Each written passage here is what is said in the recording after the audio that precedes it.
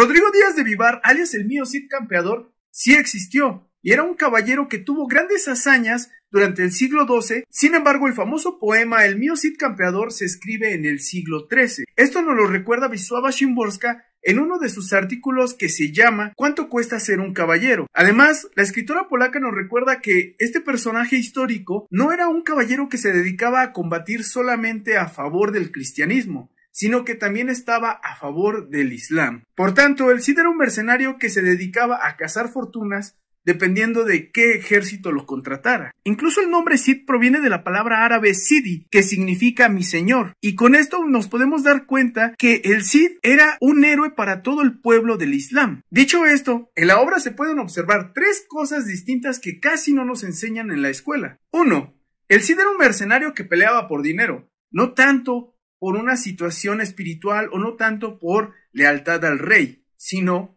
le interesaban más las ganancias que eran generadas por la guerra. 2. Leyendo el poema del mío Cid nos podemos dar cuenta que la guerra es un potente sistema económico. Sin embargo, también se pueden observar otras cosas, como el saqueo y la estafa a través de los préstamos. 3. La cabeza de un caballero o de un rey no eran tan valiosas por el honor, sino porque al no existir alguien que cuidara las propiedades, es decir, tierras, oro, incluso también a las familias que estaban dentro del reino, pues era mucho más fácil saquearlos. Y con esto podemos entender un poco más de la historia que existía en el siglo XII en España. Y bueno, después de ver estos aspectos, ¿qué más hace falta sobre el mío, sí?